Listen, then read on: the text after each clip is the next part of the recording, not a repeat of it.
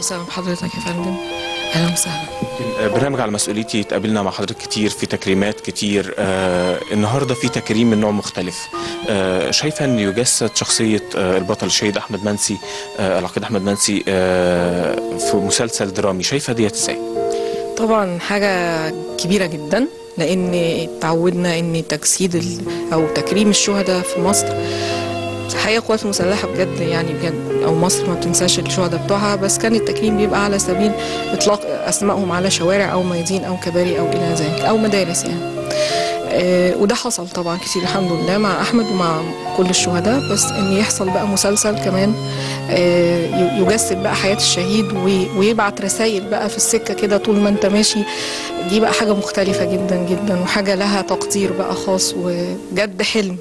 حلم يعني كان كان كان خيال يعني. بالنسبة لي أنا كنت حاسة إن هي حلم يعني. الحمد لله امبارح بداية الحلم ابتدى يتحقق بعد استشهاد بفترة بسيطة جدا بحوالي شهر أو اتنين شؤون معنوية طبعا تولت الموضوع و...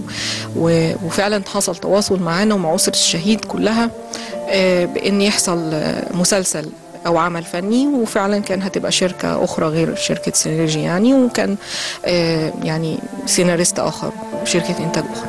حصل التواصل وقعدوا معانا وخدوا معلومات وكل حاجة كانت تمام كذا شهر وبعد كده الموضوع يعني هدي شوية. آه، تعطل لأسباب لا يعلمها إلا الله طبعا بتاعة ربنا وخلاص وانتهى على كده وما سألتش تاني يعني.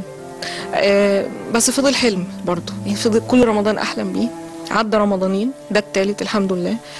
وزي ما بيقولوا كده كل تأخيرة وفيها خيرة وربنا دايما بيبقى شايل حاجة أكبر وبيرضي في الآخر وبيجبر.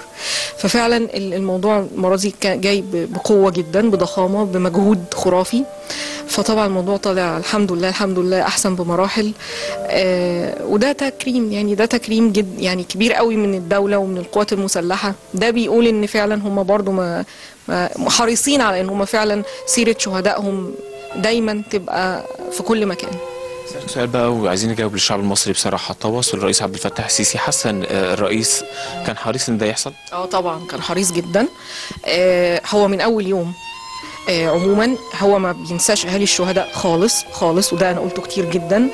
آه على طول هو بيجتمع بينا. وطبعا كل مرة بيبقى مجموعة غير التانية عشان يبقى حريص على إنه يشوف الناس كلها في في الآخر. في أي محافل أو أي تكريمات ايا كانت سواء يوم المرأة أو أو أو أو عيد الأم أو اي أو رمضان أو العيد آه، ويمكن كان في العيد اللي فات واللي قبليه كان حريص على إن هو يقابل أكبر عدد ويعمل حفلة للأطفال. فدايما أمهات وأطفال الشهداء دول على راسه من فوق وبصراحة هو مش مقصر. دايما حريص على إن هو يصدر تعليمات بالاهتمام بأمورنا وبشؤوننا عموما. المسلسل طبعا حصل والكل شاف وشاهد الندوة آه، ندوة من ضمن الندوات التثقيفية لسيادة الرئيس بنفسه تحدث عن أحمد آه، وعن عشماوي وعن الصورة اللي كانت بتجمعهم في فترة من الفترات إن هم اشتغلوا مع بعض. وقارن بصراحة مقارنة أنا ما شفتهاش في حياتي يعني مقارنة للتاريخ إن ده بطل وأدى وعمل وبنسقف له وده هنجيبه علشان نحاسبه. يمكن الفكرة بدأت من هنا. فكرة الاختيار يعني طريق الخير والشر موجود آه طبعا. إحنا إحنا هو ده كان مع ده وخدم مع بعض وكلوا في طبق واحد ويمكن عاشوا مع بعض أكتر ما عاشوا مع أخواتهم في البيت.